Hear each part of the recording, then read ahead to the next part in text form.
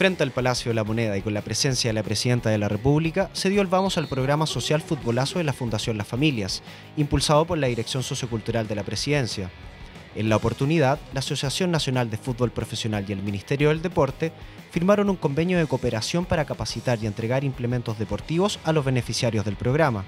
Nuestra fundación tiene por objeto ofrecer a las familias espacios de desarrollo y de oportunidades de crecimiento personal y comunitario entregando un espacio cálido y acogedor a niñas y niños, jóvenes, mujeres y adultos mayores. El ministro de Justicia, José Antonio Gómez, estuvo presente en el lanzamiento del programa que incorporará como beneficiarios a internos de Gendarmería y a niños, niñas y adolescentes del Servicio Nacional de Menores. Este programa también está dirigido a jóvenes que se encuentran en los centros del Sename. Esperamos el próximo año también llegar a otros lugares como a cárceles o personas en rehabilitación de droga, a través de convenios con Gendarmería de Chile y con Senda. En lo que va de este año, 795 jóvenes han participado en este programa de inclusión social y para 2015 se proyecta el doble de participantes.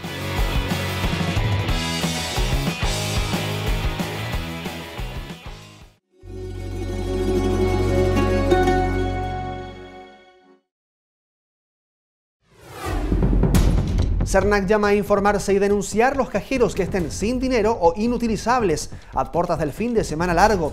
Lanzan aplicación para saber dónde hay disponibilidad de efectivo. 38.000 litros de crudo y no 22.000, como informó ENAP, afirmó la Fiscalía que cayeron sobre la bahía de Quintero en el derrame ocurrido en septiembre. Y exposiciones, ferias ecológicas y la apertura de temporada de piscinas son parte de las novedades que ofrecen las regiones para este fin de semana largo con el auspicio de Campaña Alto a los Incendios Forestales. De ti depende prevenirlos. Presenta.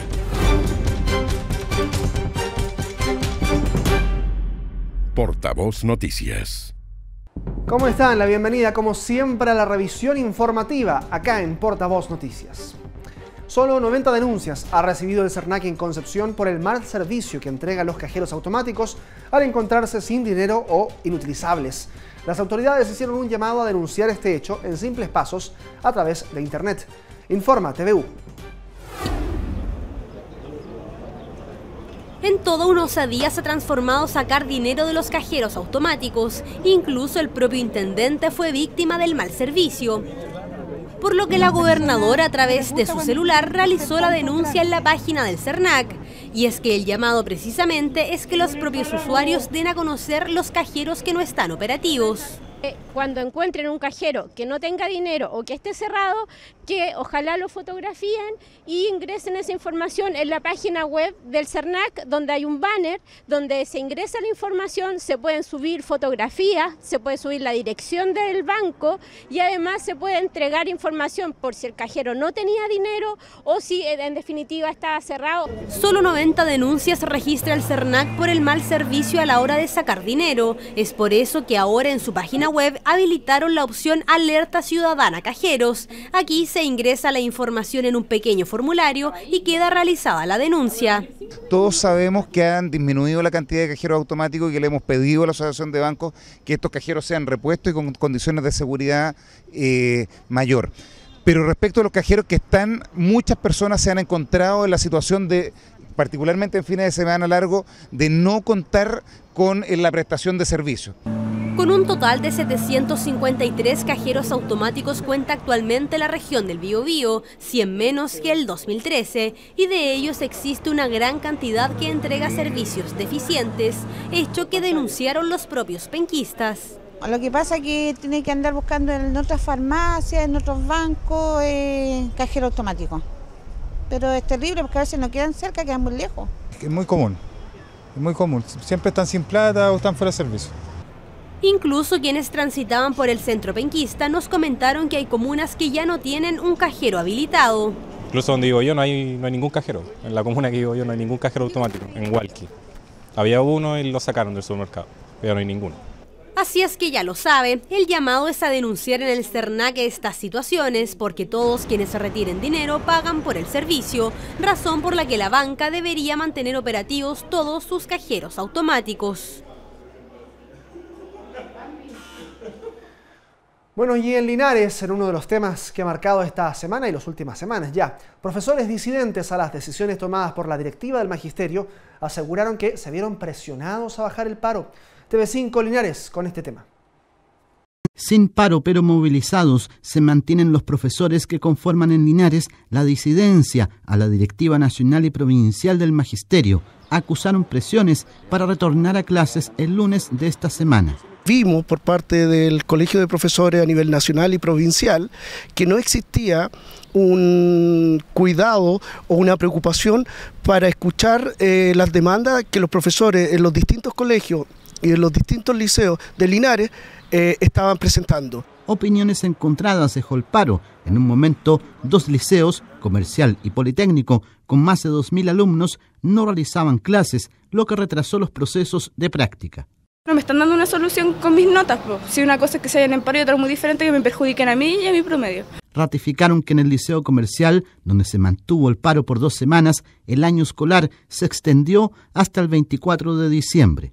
No existía desde una u otra situación en el hecho de que se pudiera haber pedido el término del año escolar y con ello hubiesen existido investigaciones tendientes a identificar a aquellos que perturbaron ese término de, eh, de año escolar normal. En Linares, los docentes en paro, 220 en total, rechazaron en votación simbólica, con amplia mayoría, acuerdos entre la directiva del gremio y el gobierno. Mientras tanto, en estado de incertidumbre se declara un grupo de apoderados y alumnos opositores a la toma del Liceo Marta Donoso Espejo de Talca, ante la eventualidad de repitencias o alargue del año escolar como consecuencia del paro docente. Nos informa Telecanal de Talca. Incertidumbre y con un futuro incierto se encuentra un grupo de apoderados y alumnos opositores a la toma del Liceo Marta Donoso Espejo de Talca ante la eventualidad presunta de repitencias o largue del año escolar como consecuencia de la movilización estudiantil en apoyo a los docentes y demandas internas del establecimiento. Rabia, pena por mi hija porque no sabemos cómo va a terminar este año. ¿Por qué? Porque realmente aquí cuando se empezó todo esto, yo vine a hablar con la presidenta del Centro General de Alumnos y yo les dije, mi hija está en primero medio, esto, todo esto los perjudica. Las denuncias son avaladas por los mismos estudiantes del Liceo Marta Donoso Espejo de Tal, que quienes afirmaron sentirse engañados por los docentes ya que habrían sido incitados a realizar esta movilización y toma del colegio. por un momento sí, porque los profesores a nosotros nos dijeron que si nosotros votábamos que sí a la toma, nosotros íbamos a terminar el año. Y por eso nosotros queríamos votar que sí, porque si no íbamos a recuperar clases hasta el 20 de enero. Que no es justo porque igual los profesores nos dicen una cosa, después el ministerio nos dice otra, que yo creo que es lo verdadero. Entonces ellos nos hicieron votar que sí porque dijeron que se cerraba el año. Eh, tiene un tope el año hasta el 15 de enero y todo el calendario está completo y eso se tiene que cumplir. No está a la disposición de la autoridad regional ni local tampoco para eh, un cierre anticipado del año. La reacción no se dejó esperar por parte de la dirección del establecimiento Marta Donoso Espejo de Talca, asegurándose que se rompieron todos los acuerdos previos por un mínimo de jóvenes que no representan al resto del plantel. Esto asegura podría provocar repitencias masivas de estudiantes ha habido una tergiversación respecto, ¿no es cierto?, a lo que los alumnos creyeron. Lo que nosotros manifestamos, y yo se lo manifiesto a los profesores, es que los alumnos, ¿no es cierto?, era probable que repitiese una gran cantidad de alumnos, dado que en el último trimestre los alumnos, ¿no es cierto?, mejoran sus notas y se promueven, ¿no es cierto?, al otro curso. Por lo cual entonces difícilmente le podría haber dicho una cosa así los profesores. De esta manera son tres los colegios municipalizados de Talca que se mantienen en toma como apoyo a los profesores por los descuentos por hora no trabajada durante el pasado paro del gremio. Hora más tarde el Instituto Superior de Comercio Insuco era tomado nuevamente por un grupo de alumnos que no integran la directiva ni el centro de estudiantes por situaciones puntuales. Muy bien, vamos a ir ahora a una síntesis de noticias. Esto es lo que pasa en regiones. En Magallanes, la justicia condenó por delitos sexuales y almacenamiento pornográfico infantil a un sujeto que atacó a cinco menores de edad en Puerto Natales. La fiscalía pidió la cadena perpetua para el sentenciado. Autoridades intensificaron la fiscalización en carreteras con miras al fin de semana largo y las múltiples actividades en la región de Valparaíso. La procesión a los Vázquez, el partido de la fecha final del fútbol entre Wanderers y Colo Colo y la posibilidad de descansar un día más hará que miles de personas ya ocupen de manera más intensa las rutas de la zona. Según un estudio realizado en Concepción, el 80% de los pasajeros que usan los asientos traseros no llevan puesto el cinturón de seguridad. Por este motivo, la Seremi de Transportes lanzó una campaña para revertir la situación y concientizar a los ocupantes de la locomoción pública. Muy bien, hacemos un corte, estamos de vuelta en unos segundos con más noticias desde las regiones. Para que nunca más volvamos a ver esto en Chile, digamos alto a los incendios forestales. Mantén alrededores de tu casa limpios de ramas y pasto seco y no quemes tu basura. Trabaja con tus vecinos y realiza acciones de prevención en áreas comunitarias. Frente a una amenaza de incendio, avisa inmediatamente a CONAF, bomberos, PDI o a Carabineros de Chile. De ti depende prevenirlos. Digamos, alto a los incendios forestales.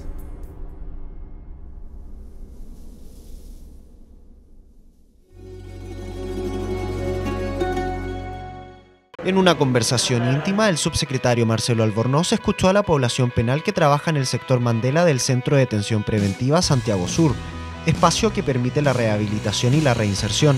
Yo quería venir al espacio Mandela hace tiempo eh, porque quería conocer eh, de las propias eh, bocas de los internos cuál era su experiencia y poder conocer primero gente que, que está en otro espacio que de una otra manera está apostando a la rehabilitación, que está apostando al cambio. El proceso de capacitación integral que se desarrolla en la ex penitenciaría comienza con enseñar a los internos a leer y a escribir y continúa con la formación de un oficio de mueblista para fomentar el emprendimiento. Gracias al proyecto eh, ha cambiado la mentalidad de los internos, ya que todos quieren participar en este logro y estamos muy agradecidos porque eso es lo que falta, oportunidades para poder cambiar nuestras vidas. La labor es desarrollada por la Capellanía Nacional Católica de Gendarmería de Chile en colaboración con el área técnica de la unidad penal. La experiencia del espacio Mandela apunta justamente a un camino correcto, que es eh, entregar proyectos, entregar oportunidades. En ese sentido, la tarea de la reinserción social tiene que ser impulsada fuertemente.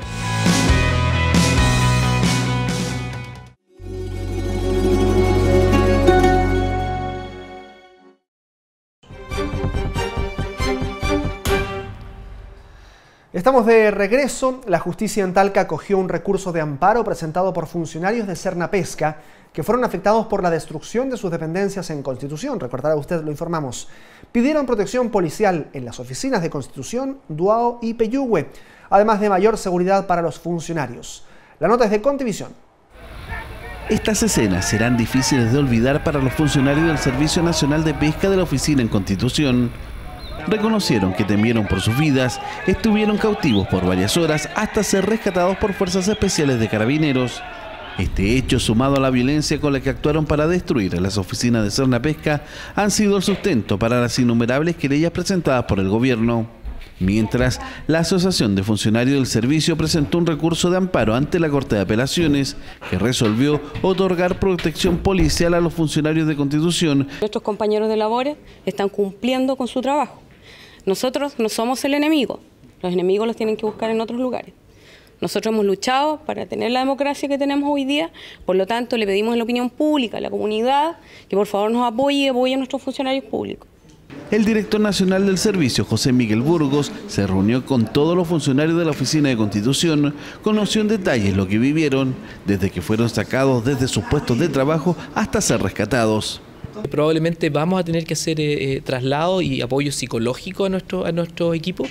Eh, hay, eh, trabajadores que están muy, muy afectados por esto, no solo del Servicio Nacional de Pesca, sino que también de la Subsecretaría de Pesca. Vulnerable es como hoy se sienten los funcionarios de Cerna Pesca. Las amenazas en contra de ellos y sus familias los ha llevado a cuestionarse seguir en la ciudad. yo veía muy difícil la situación, habían personas con fierro, habían personas con palo yo sentía que los dirigentes no tenían control total de la situación.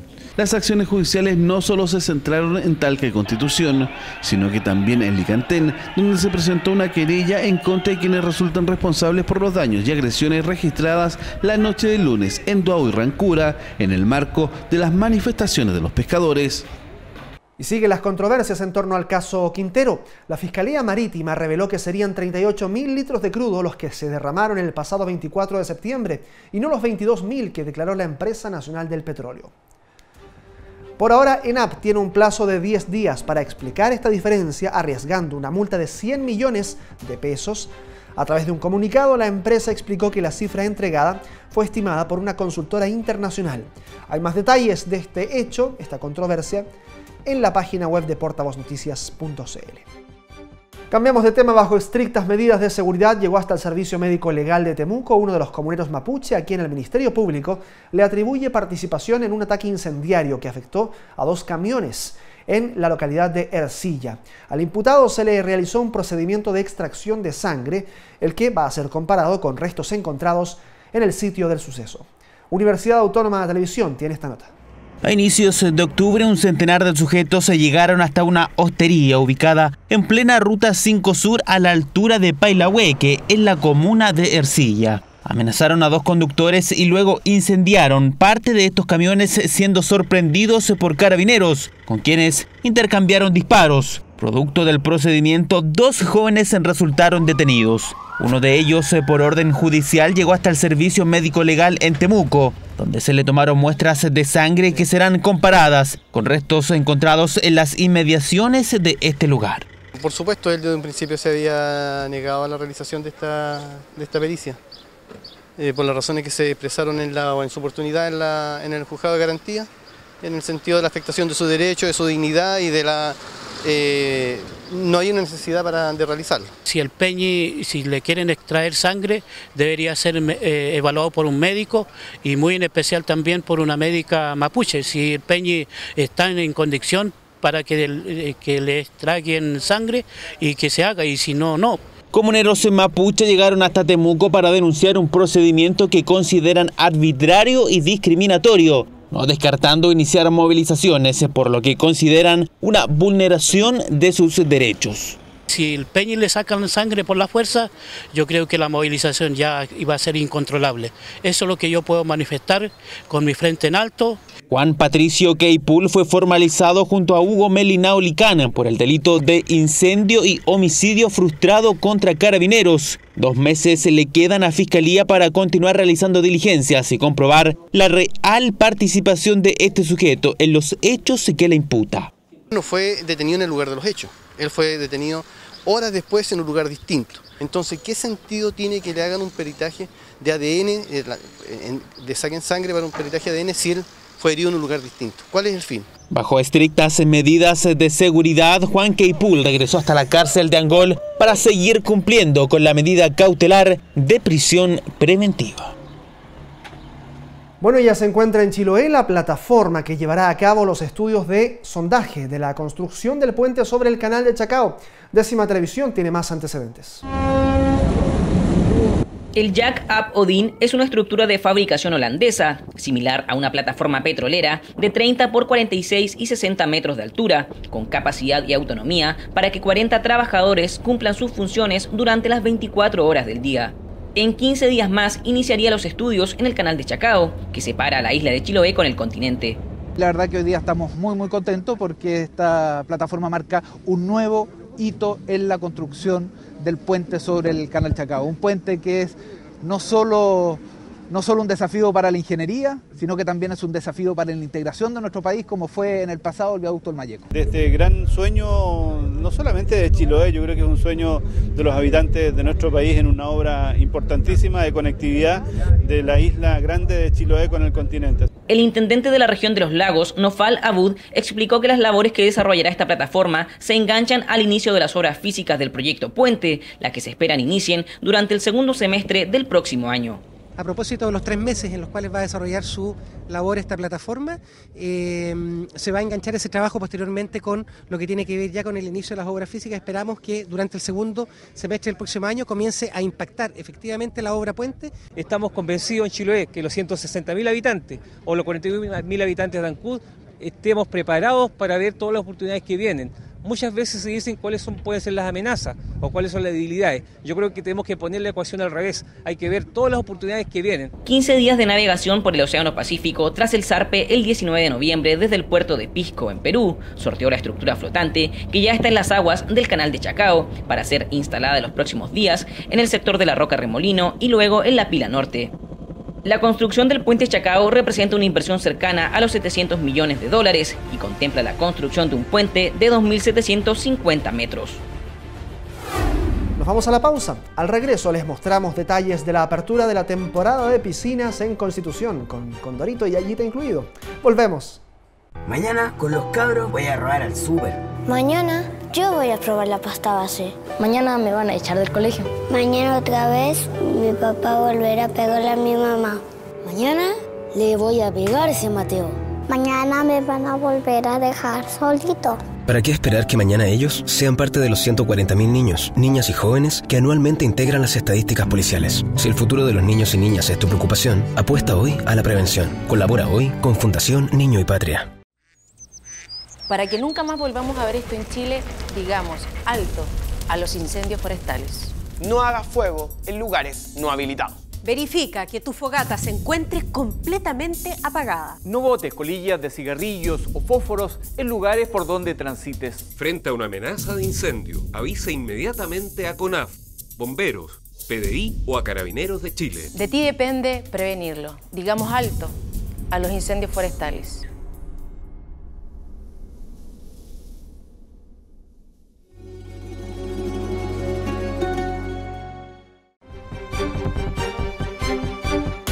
Autoridades de salud y del trabajo cursaron un sumario a la empresa Report y notificaron a otras empresas que operan al interior del puerto de Antofagasta, a quienes pidieron regularizar y adoptar medidas de seguridad al interior del terminal.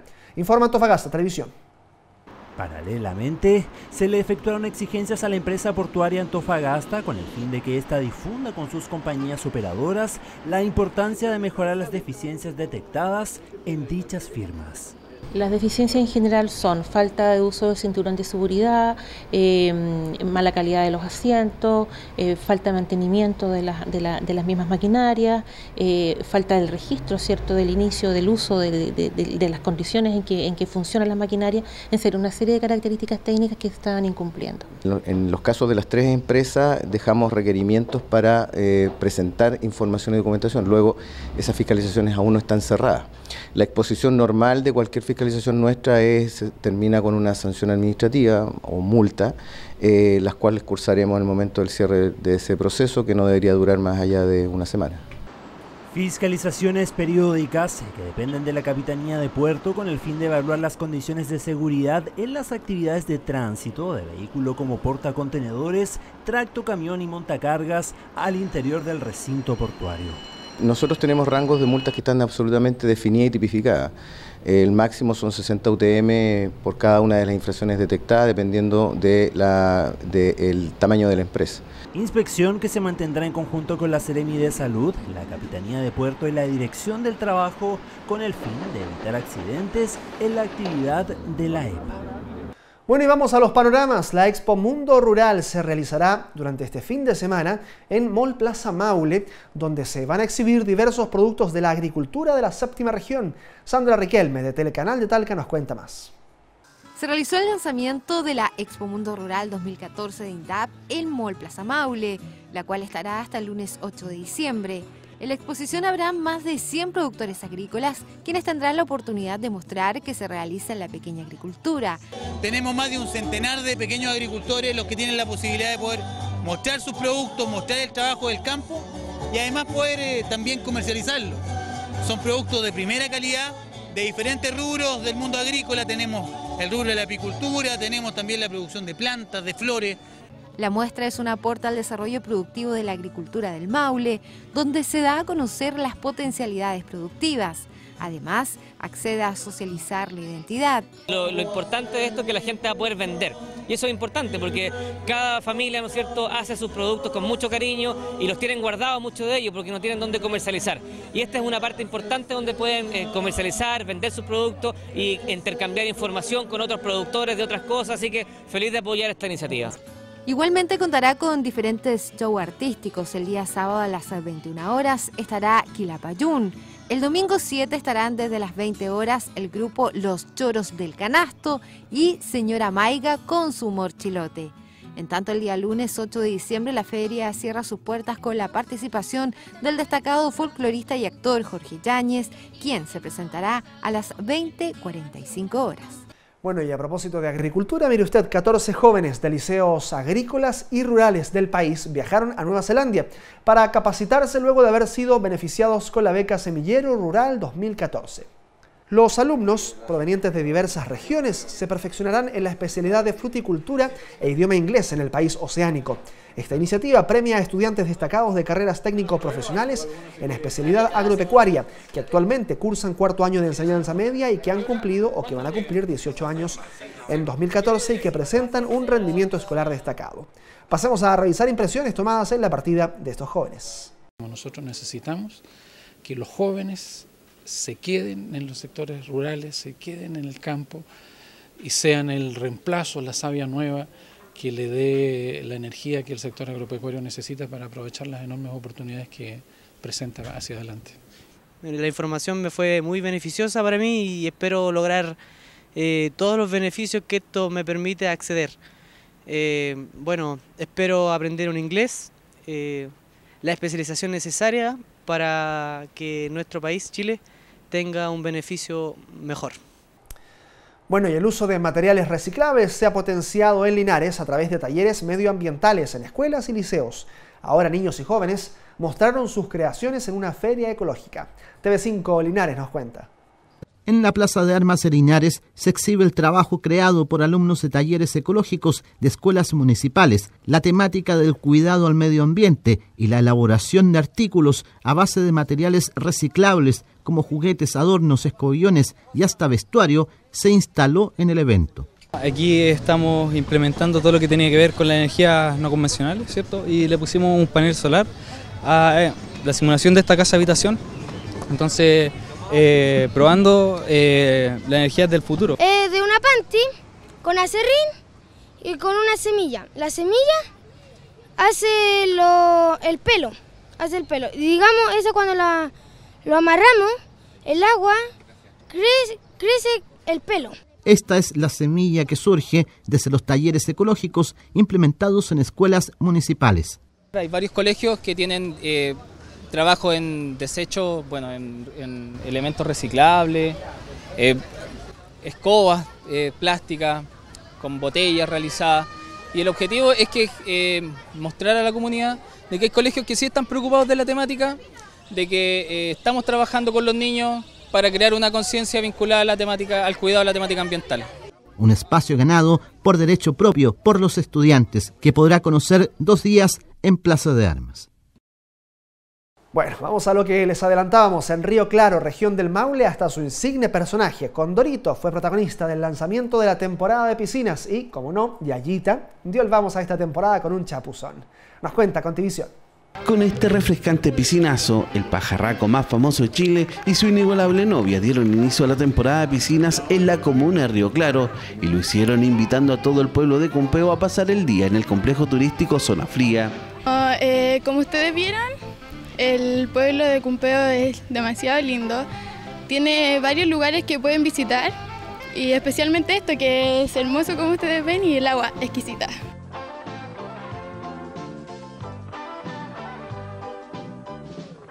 Recorrer el pintoresco pueblo de Condorito es como ser abducido por la historieta. Almorzar en el pollo farsante o en el platillo volador es sin lugar a dudas una grata experiencia, todo con una propuesta temática que involucra a toda la comuna.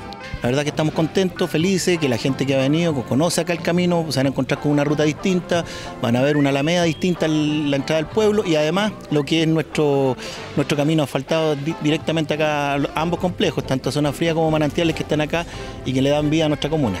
El calor pudo más que la paciencia y los primeros en llegar al agua fueron ellos. Los niños disfrutaron de las piscinas que abrieron sus puertas para recibir no solo a los habitantes de Cumpeo, sino que también a los visitantes del pueblo. Muy bien, llegamos al final de esta edición de Portavoz Noticias. Recuerde usted que estaremos todo el fin de semana largo acompañándole también con información cada día proveniente de las distintas regiones del país a través de los reportes de 23 canales asociados a Arcatel. A nombre del equipo, muchas gracias. Que esté muy bien, que tenga buen fin de semana. Descanse. Campaña Alto a los incendios forestales. De ti depende prevenirlos. Presentó.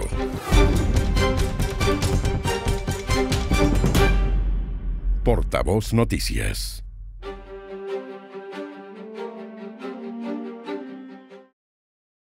Junto a la presidenta de la República, el ministro de Justicia José Antonio Gómez participó en la jornada inaugural del 15 Encuentro de Magistradas de Altos Órganos de Justicia de Iberoamérica. El espacio fue destinado para reflexionar sobre los desafíos de la autoridad judicial para garantizar el acceso de la justicia de las mujeres. Asegurar la igualdad de género no es solo un deber ético, lo es sin duda, pero también es la manera inteligente de actuar porque cuando aseguramos la igualdad de género todos ganan. La justicia de género está presente en el programa de la presidenta Bachelet. El Ministerio de Justicia ya trabaja para incorporar de manera transversal el enfoque de género en sus servicios dependientes y relacionados. Recientemente también, el Ministerio creó una unidad de género encargada de coordinar intersectorialmente las políticas gubernamentales dirigidas a la mujer. En el ámbito del Ministerio de Justicia tenemos también algunas medidas que son, eh, eh, están establecidas en el programa y por lo tanto eh, estamos impulsando el desarrollo de ellas para cumplir con lo que la presidenta ha manifestado en, en, eh, en su programa de gobierno.